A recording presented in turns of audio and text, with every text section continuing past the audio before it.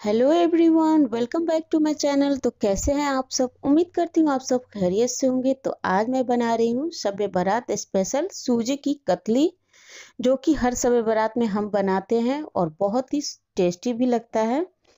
तो बस इसमें एक छोटी सी ट्रिक होती है, जिससे हम परफेक्ट बना करके तैयार कर लेंगे और बिल्कुल भी सख्त नहीं बनेगा।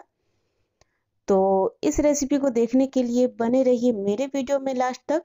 वीडियो को बिना स्किप किए और अगर आपको मेरी ये वीडियो या रेसिपी ज़रा सी भी पसंद आएगी तो चैनल को सब्सक्राइब करके बेल आइकन को ऑल पे ज़रूर कीजिएगा। कमेंट करके बताइएगा कि आपको ये रेसिपी कैसी लगी। तो चलिए फटाफट से रेसिपी शुरू करते हैं। उसके लिए सबसे पहले हमें चाशनी की तैयारी करनी है। तो यहाँ पे मैंने लिया है एक कप चीनी और इसी कप से हम सारा मेज़रमेंट करने वाले हैं। तो बहुत ध्यान से देखिएगा। एक कप चीनी के लिए हम डालेंगे इसी कप से एक कप पानी। फ्लेम अभी तक मैंने ऑन नहीं किया है तो ऑन कर लेते हैं। और इसको हमें चाशनी बनानी है। बेसिकली हमें एक तार की चाशनी बनानी है। तो हम क्या करते हैं, इसको दूसरे फ्लेम पे ट्रांसफ़र कर देते हैं। फ्लेम को स्लो करके ताकि ये पकते रहे। और आगे का प्रोसेस जो है हम कर लेते हैं। तो चलिए इसे ट्रांसफ़र कर देते हैं।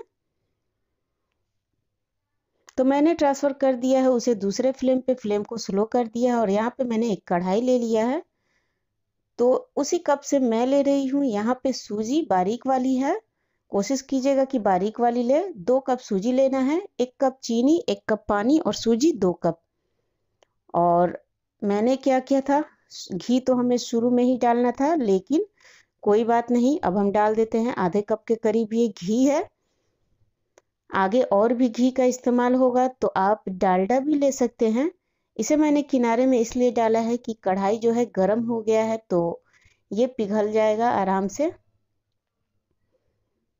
तो बस घी अब मेल्ट हो चुका है तो अब हम सूजी को भूनने लगेंगे।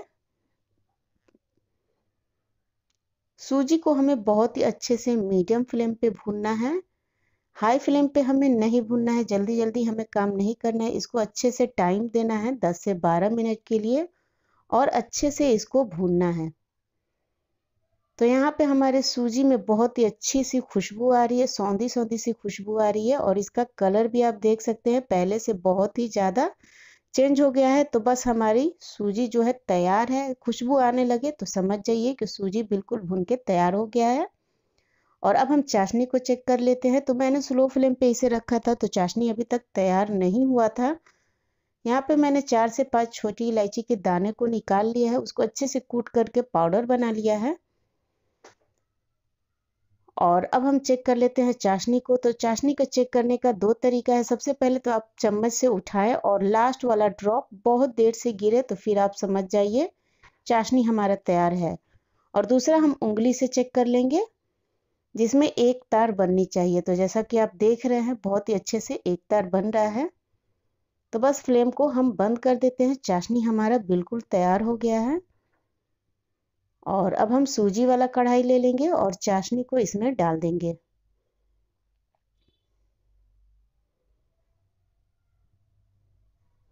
तो अब मैंने सभी चाशनी को इसमें डाल दिया। फ्लेम को मैंने ऑन करके स्लो पे रखा है। अब हम काम जो करेंगे, वो स्लो पे करेंगे।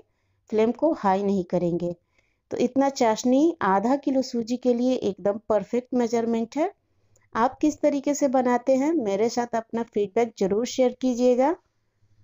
अपनी राय शेयर कीजिएगा कि आप इस तरीके से बनाते हैं या दूसरे तरीके से बनाते हैं। तो अब हम इसमें डाल देंगे तकरीबन डेढ़ सर्विंग स्पून घी और आपके पास घी नहीं है तो डालडा डाल सकते हैं। तो सब मिला के मैंने पौने एक कप घी का इस्तेमाल किया है। इससे इसका टेक्सचर और खुशबू तो बढ़ती ही है, खाने में बहुत ही ज़्यादा मज़ा आता है। तो अब हमें इसे स्लो फ्लेम पे भूनना है तो अब हम ड्राई फ्रूट डाल देंगे।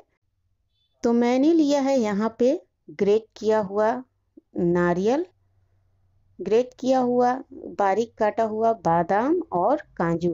ड्राई फ्रूट आप अपने हिसाब से कोई भी ले सकते हैं जो आपको पसंद हो। मैंने काजू, बादाम और नाली, नारियल डाला है। तो बस हम इसे अच्छे से भूनते हैं, इसे पकाते हैं।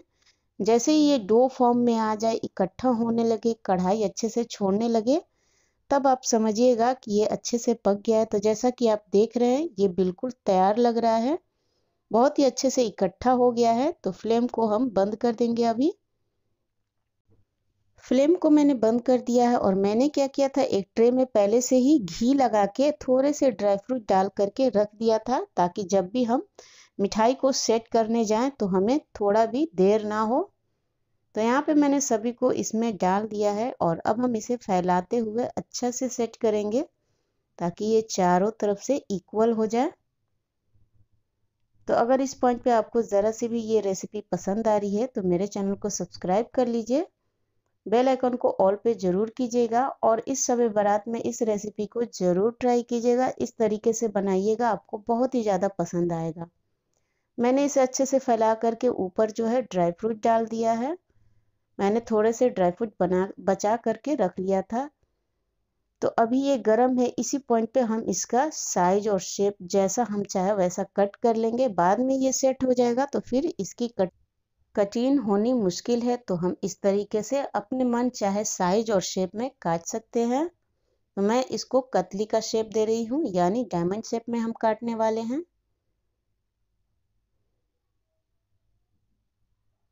तो आप देख सकते हैं, बहुत ही आसानी से, बहुत ही टेस्टी सा हमारा मिठाई बन के तैयार है सूजी का। तो इसको मैंने काट दिया है और अब हम इसको ठंडा होने के लिए रख देंगे। थोड़ा सा प्रेस कर दे रही हूँ, ड्राई फ्रूट जो ऊपर ऊपर है तो बस हम इसे ठंडा होने के लिए रख देते हैं, फिर दिखाते हैं आपको, तब तक आप मेरे चैनल को सपोर्ट कीजिए, मुझे सब्सक्राइब करके। तो ये बिल्कुल सेट हो चुका है तो अब हमें एक छोटा सा काम करना है, फ्लेम को हम ऑन कर देंगे, और मिठाई वाली ट्रे को हम इसके ऊपर तीन सेकेंड के लिए रखेंगे, चारों तरफ़ से घुमाते हुए। इससे क्या होगा? जो घी हमने पहले से लगाया हुआ है ट्रे में, वो पिघल जाएगा और मिठाई हमारी बहुत ही आसानी से निकल जाएगी। इसीलिए हम ट्रे में घी, तेल वगैरह लगाते हैं ताकि हमारी मिठाई जो है अच्छे से रिमूव हो जाए। और अब हम शेप में ही कटिंग वाली शेप में ही थोड़ा सा नाइफ चला देंगे ताकि हमारी मिठाई जो है आसानी से निकल जाए। तो शुरू में एक पीस निकालने में थोड़ी सी सावधानी रखिए, बाकी एक पीस निकलने के बाद सब अच्छे से निकल जाते हैं। तो ये मिठाई बहुत ही टेस्टी बहुत ही यम्मी बन के तैयार हुआ था। जिनके दांत नहीं है, वो बहुत ही आसानी से इसको खा सकते हैं। इतना टेस्टी बन के तैयार हुआ था। घर में सभी को बहुत ही ज़्यादा पसंद आया होगा। आई होप आपको भी पसंद आई होगी। और अगर पसंद आई है तो मेरे चैनल को सब्सक्राइब लाइक और अपने फैमिली और फ्रेंड्स में शेयर करना मत भूलिएगा। तो जैसा कि आप देख रहे हैं, बहुत ही आसानी से सारे पीसेस अब निकलने लगे हैं। तो मिलते हैं एक नए रेसिपी के साथ। अल्लाह हाफिज़।